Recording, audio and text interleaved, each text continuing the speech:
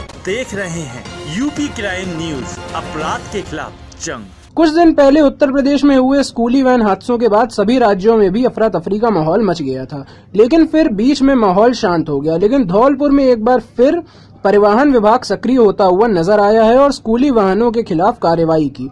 तो वहीं शेमरोक स्कूली वैन के खिलाफ कार्रवाई करते हुए जब्त किया है। परिवहन इंस्पेक्टर अशोक सिंह ने बताया कि शेमरोक स्कूली वैन में ना तो बाल विहीन परमिट था ना ही रजिस्ट्रेशन सर्टिफिकेट और सीमा से अधिक बच्चे बैठा रखे थे। तो उसके खिलाफ कार्रवाई की गई है। हमने ये सैमरॉक स्कूल की बस जाती हुई मारुति वैन पकड़ी है आर जे ग्यारह यू ए चौबीस सत्तर। इसमें ना तो बाल वाहनी परमिट था ना आरसी थी ना बीमा था ना कुछ था। जी। तो इसमें स्कूली बच्चे भर रखे थे बीस पच्चीस पच्चीस के करीब। जी जी। हाँ जो कि कोई भी हादसा हो जाए तो जिम्मेदार कौन है? धौलपुर से करमवीर चहार की रिपोर्ट यूपी क्राइम न्यूज़।